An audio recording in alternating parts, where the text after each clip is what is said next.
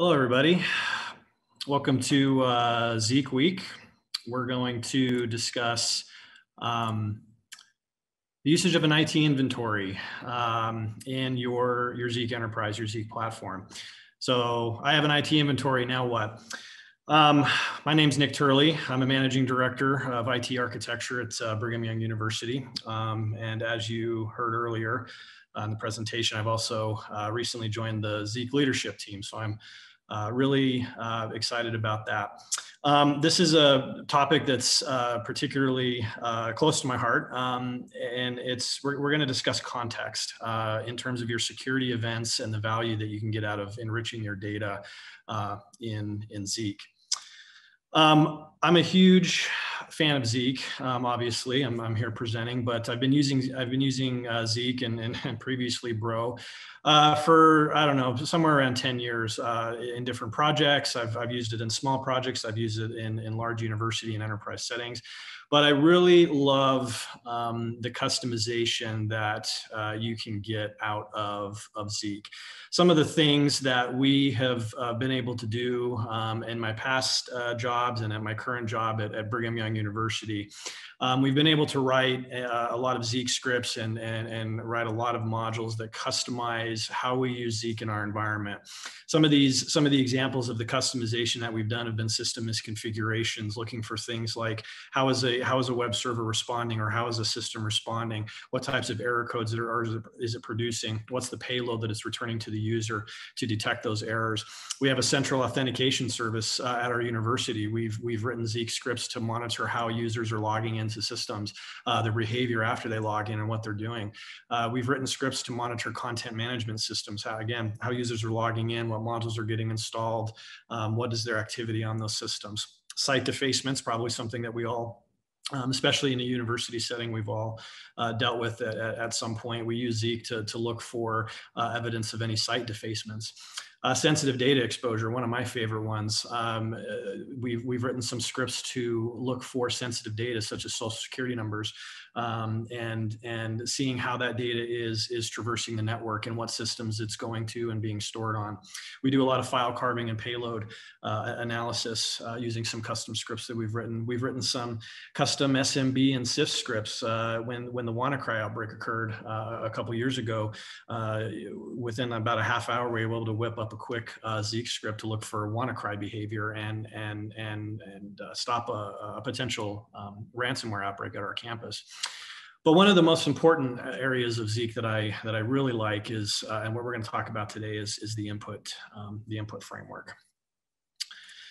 The input framework um, is one of the exciting areas of, of, of Zeek capability um, that I think is not used a lot. Uh, I, have seen a lot of Zeek uh, implementations at different universities and different companies and scripts, are, you know, custom scripts are used and different things, but I haven't seen a lot of usage of the, the input framework. Uh, you see the Intel framework being used, but not a lot of usage of the input framework. The input framework in Zeek is really fantastic because you can take external data, external data meaning data outside of Zeek, um, that is in your environment and ingest this into your Zeek system and provide context uh, into your, uh, your Zeek events, your notice alerts, um, any log that gets produced by Zeek, you can enrich those, uh, those, those, those events. And so we're going to talk about the input framework and how we use that to enrich our, um, our events. And one of the most important things I like to talk about is context, context, context. So there's there's a lot of opinions about what makes security alerts um, and events relevant uh, to your environment. Um, you, you, you know you may have a security operations center, or you may have a small team of security analysts. You may have one guy. You may not have any guys. You may you may have your platform or your network team wear that security hat. But the problem is, is Zeek is producing a tremendous amount of data, a tremendous amount of valuable data but how do you apply your institutional context to that? How do you know how to prioritize uh, your alerts? You know, Zeek can alert you to, hey, uh, this particular IP um, is suffering from a SQL injection attack or is a victim of a SQL injection attack. Um, you know, these particular hosts are using RC4 uh, encryption for Kerberos tickets. Um, but then you sit back and you go, great, but if I've got a large enterprise, what are those systems actually doing? What's their responsibility in the enterprise? What's, what's their data classification? Uh, what applications and services do they support? Um, for for your for your environment. So in, in my experience um, in, in, in working in cybersecurity for a while now, context is the most important thing you can probably do to enrich your your systems. Um, you know, there's a lot of commercial uh, security solutions that that replicate uh, you know what what Zeek does in some ways, um, but I, I, haven't really seen in my career what you know a, a platform that allows you to ingest data like this and have basically complete control over how those uh, events are, are enriched. So let's go through a couple use cases that that uh, you can you can kind of think through, and, and and some things that you can actually do with Zeek using Input Framework.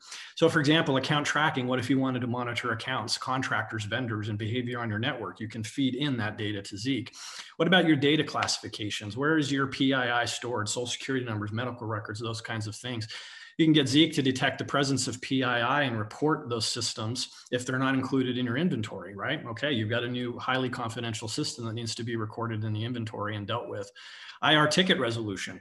You have Zeek alerts coming in, but have has a security analyst or somebody else already taken advantage of that. You can feed your IR data to Zeek and have Zeek ha- and, and allow Zeek to have some context on, on the status of tickets environment context, production, test, and dev. You can have this labeled in your Zeek log so you know what production and dev systems are involved um, in, the, in the connection logs.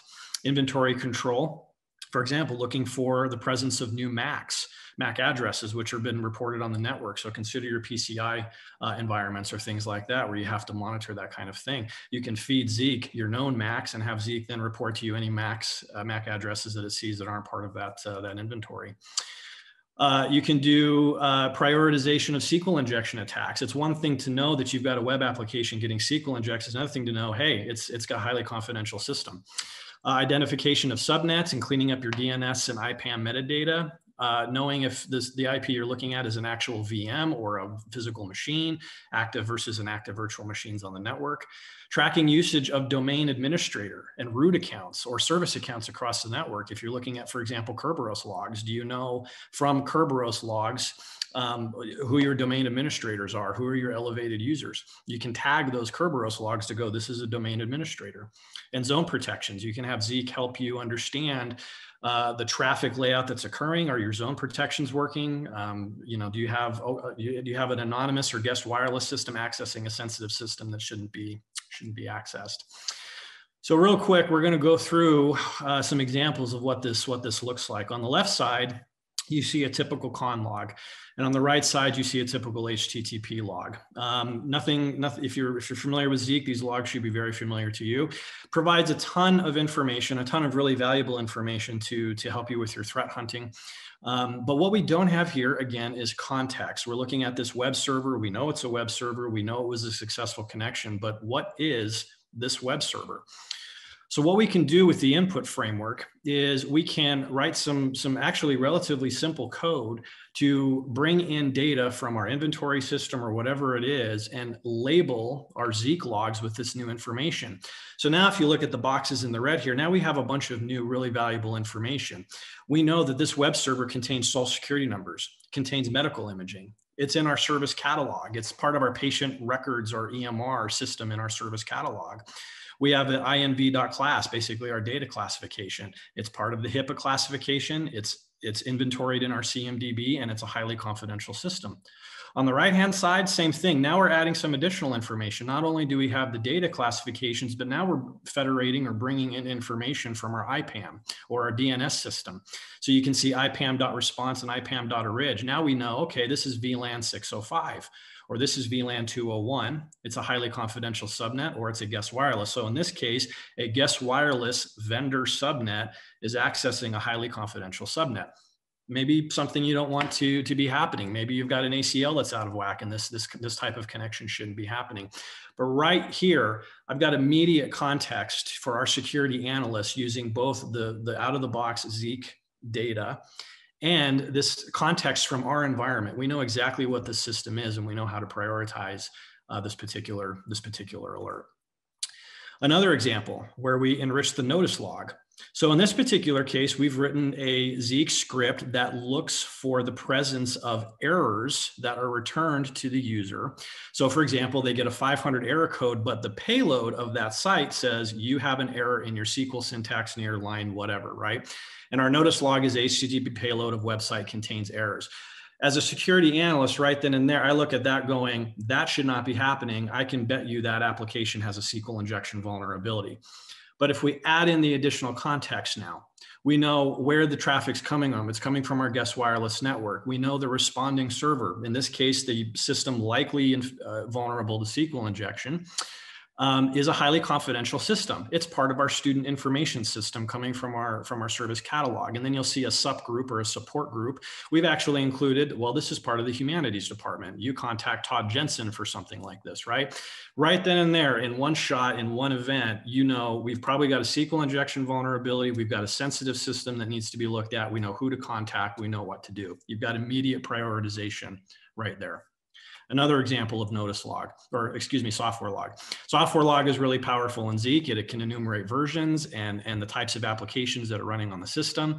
You can marry that up with events in your notice log. And in this particular example, we wrote a script looking for vulnerable PHP web applications using data that's produced out of the software log. So we know that PHP 533 is really out of date but what we have here is additional context, knowing that we've got a vulnerable PHP application on a highly confidential system, part of our learning management system. Probably not something we want to sit on, probably something we want to get a ticket created for and take action on. You'll also notice in the yellow here on the right side, we have ir.id and ir.status. We bring in information from our ticketing, our IR ticketing system, and feed this back in. So now for this particular notice, a security analyst goes, oh, this has already been handled. It's part of ticket 2438 and the ticket status is still open.